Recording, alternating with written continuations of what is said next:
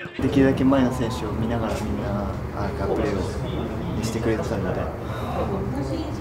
まあ、自分たちはなるべくいい位置で、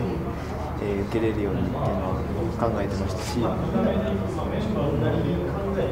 どのフォーメーションでも、まあ、多少の役割は違いますけど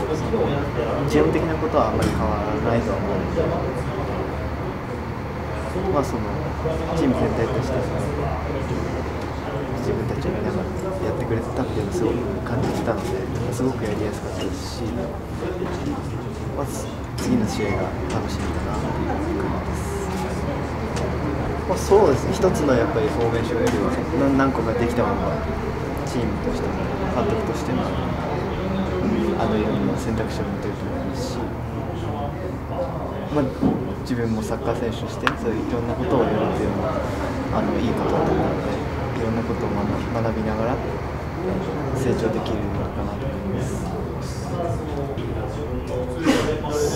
そうですね。前回のワールドカップでやっぱり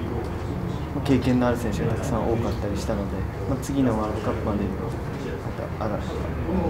た新しいというか若いより前回よりも若い選手が出てくるのは、ま、日本のサッカーにとっていいと思いますし世界ブラジルでもそうですし、新しい選手がどんどん出てくると思うので、自分たちもそうなるしていきたいまあ、予選もすごく大事ですけど、次の試合も、まあ、自分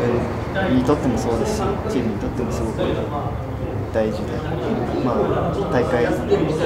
その親善試合であっても、本当に重要な試合だっていうことは変わりないと思うので。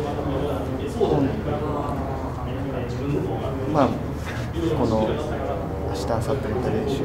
で成長して次の試合も楽しんでで次はしっかりと得点を決めて勝てるようにしていきたいなと思います。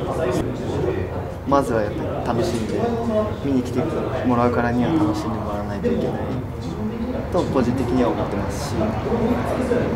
昨日はあのたくさんシュートを打って1点も決められなかったので、まあ、そういうゴールとかも